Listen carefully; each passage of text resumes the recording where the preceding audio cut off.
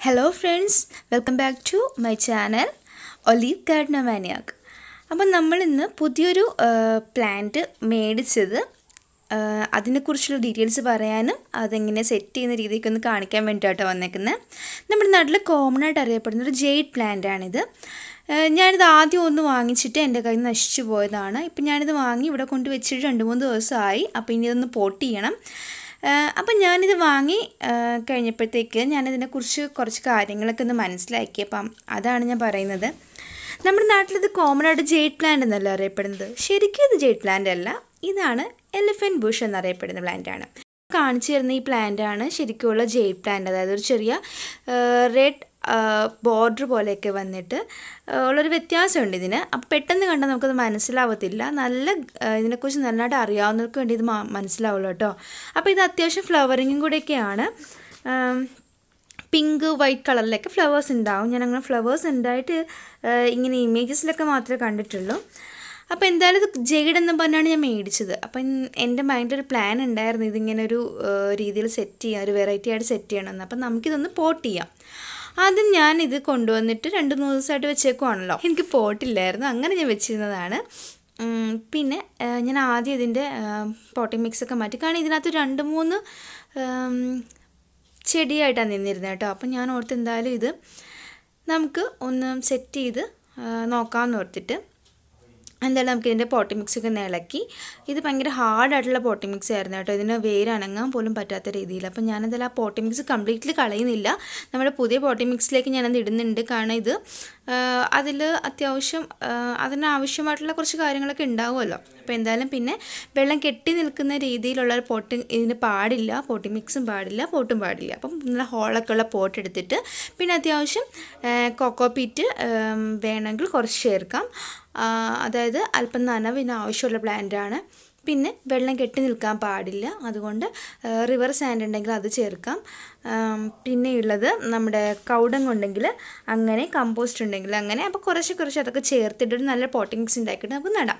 അപ്പോൾ ഞാനിത് സെറ്റ് ചെയ്യുന്നത് വെറുതെ ഒരു പ്ലാന്റ് വെക്കുന്ന പോലെയല്ല. ഞാനിത് വേറൊരു ഷേപ്പിലേക്കാണ് സെറ്റ് ചെയ്യാൻ ആഗ്രഹിക്കുന്നത്. അപ്പം ഞാനിതിന് ആദ്യം രണ്ട് വലിയ പ്ലാന്റ്സ് അതിനകത്ത് ഉണ്ടായിരുന്നു. അതിൽ ഉണ്ടായിരുന്ന ഒരു സ്റ്റെമ്മ് ഒടിഞ്ഞു പോയത് ഞാൻ വേറൊരു പോട്ടിലേക്ക് തൽക്കാലം മാറ്റി വെക്കുന്നുണ്ട്. ഇത് എത്രത്തോളം സക്സസ് ആവുമെന്ന് എനിക്ക് അറിഞ്ഞുകൂടാ. കിട്ടിയാൽ കിട്ടി അങ്ങനെ വെക്കുക. പിന്നെ ഇതിൽ ചെറിയ ഒരു വേരുണ്ടായിരുന്നു അതുകൊണ്ടാണ് ഇങ്ങനെ വെച്ചത്. ശരിക്കും ഇങ്ങനെ കട്ടിങ്സ് വെക്കുമ്പോഴത്തേക്ക് ഇത് കട്ട് ചെയ്ത് അതിന്റെ ആ ഭാഗം നനവ് ഉണങ്ങിയിട്ട് അവിടെ ഒരു കാലസ് ക്രിയേറ്റ് ആയി കഴിഞ്ഞ ശേഷം മാത്രമാണ് ഇങ്ങനെ വെക്കേണ്ടത്.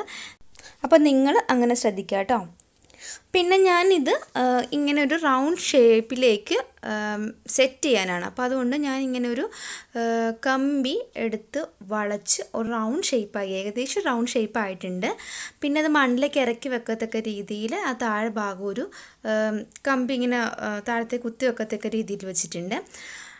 ഇത് ഞാൻ പറഞ്ഞില്ല നമ്മുടെ ഒരു ഫ്രിഡ്ജ് കംപ്ലൈന്റ് ആയപ്പം അതിന്റെ എന്തോ ഒരു ഭാഗമാണ് ഈ സംഭവം. ഇത് നന്നായിട്ട് ഫ്ലെക്സിബിൾ ആയിരുന്നു. അതുകൊണ്ടാണ് നല്ല ഈസി ആയിട്ട് വളയ്ക്കാൻ പറ്റി.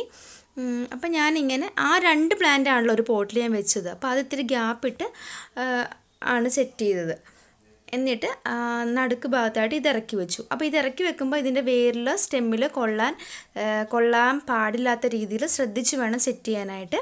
അപ്പം ഞാനിത് മണ്ണിൽ ഉറപ്പിച്ച് വെച്ചിട്ട് ഈ ഓരോ പ്ലാന്റും ഈ കമ്പിയോട് ഞാനിങ്ങനെ ചേർത്ത് ടൈ ചെയ്യാൻ പോവാണ് കേട്ടോ. ഒന്നെങ്കിൽ നിങ്ങൾക്ക് നൂൽ ഉപയോഗിക്കാം അല്ലെങ്കിൽ ചെറിയ നൂൽ കമ്പി ഉപയോഗിക്കാം. നല്ല ഫ്ലെക്സിബിളായിട്ട് കെട്ടാൻ പറ്റുന്ന രീതിയിലുള്ള ഇത് ഒരു സാധനം വെച്ച് വേണം കേട്ടോ ഇത് കെട്ടി വെക്കാനായിട്ട്. എന്തായാലും ഞാൻ രണ്ട് പ്ലാന്റും ഇങ്ങനെ ആ കമ്പിയോട് ചേർത്ത് കെട്ടി ഇതിപ്പോൾ റൗണ്ട് ഷേപ്പിലാക്കി വെച്ചിട്ടുണ്ട് കേട്ടോ. അപ്പോൾ ഇത് പിടിച്ച് വളയ്ക്കുമ്പോഴൊക്കെ ഇത്തിരി ഫ്ലെക്സിബിളാണ് എന്നാലും ഒന്ന് സൂക്ഷിച്ച് വേണം ഇത് വളർച്ച വളച്ചൊക്കെ എടുക്കാനായിട്ട്. അല്ലെങ്കിൽ അവിടെ വെച്ച് ഒടിഞ്ഞു പോകും. ശ്രദ്ധിച്ച് വേണം ഇത് സെറ്റ് ചെയ്യാനായിട്ട് കേട്ടോ. അപ്പം ഞാനിങ്ങനെ ഇപ്പം ഒരു റൗണ്ട് ഷേപ്പിലേക്കാണ് ഈ പ്ലാന്റ് സെറ്റ് ചെയ്ത് വെച്ചിരിക്കുന്നത്. എന്തായാലും ഞാൻ ഉദ്ദേശിച്ച പോലെ സെറ്റ് ചെയ്യാൻ പറ്റി. ഞാൻ ഭയങ്കര ഹാപ്പിയാണ് അപ്പം ഇനി ഈ പ്ലാനിനെ കുറിച്ച് പറയുകയാണെങ്കിൽ ഇത് ശരിക്കും എലിഫന്റ് ബുഷ് എന്ന് പറയുന്നതിന്റെ കാര്യം എന്താ അറിയോ? ഇത് എലിഫൻസിന് അതായത് ആനകൾക്ക് കഴിക്കാൻ ഇഷ്ടമുള്ളൊരു ഭക്ഷണമാണ്. നമ്മുടെ സൗത്ത് ആഫ്രിക്കയിലൊക്കെ ഇത് എന്താണ് ഒരു മെഡിസിനൽ പ്ലാന്റ് ആയിട്ട് വരെ ഉപയോഗിക്കുന്നുണ്ട് കേട്ടോ.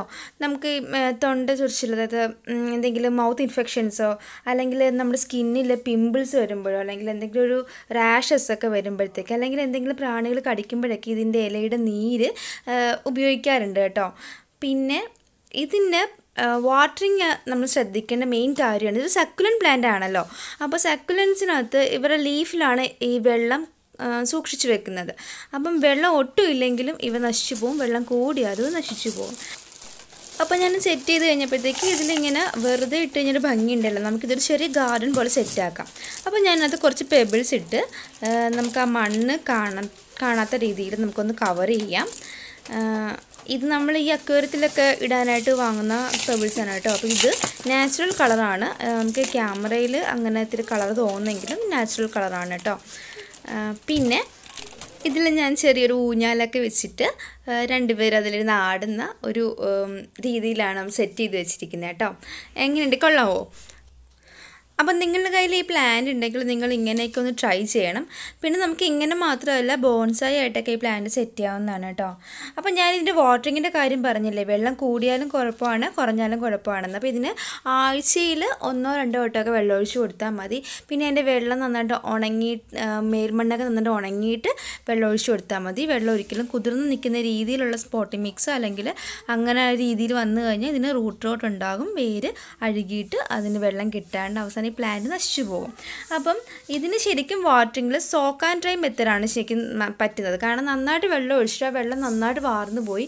കുറച്ചൊന്ന് വെയിലത്തൊക്കെ വെച്ചിട്ട് നമുക്കിതെടുത്ത് ഇൻഡോറിൽ വെക്കാം. ഇത് ഇൻഡോർ പ്ലാന്റ് എന്ന് പറഞ്ഞിട്ടാണ് സെയിലാക്കുന്നത് പക്ഷേ പ്യുവർ ഇൻഡോർ പ്ലാന്റ് നമുക്ക് പറയാൻ പറ്റത്തില്ല.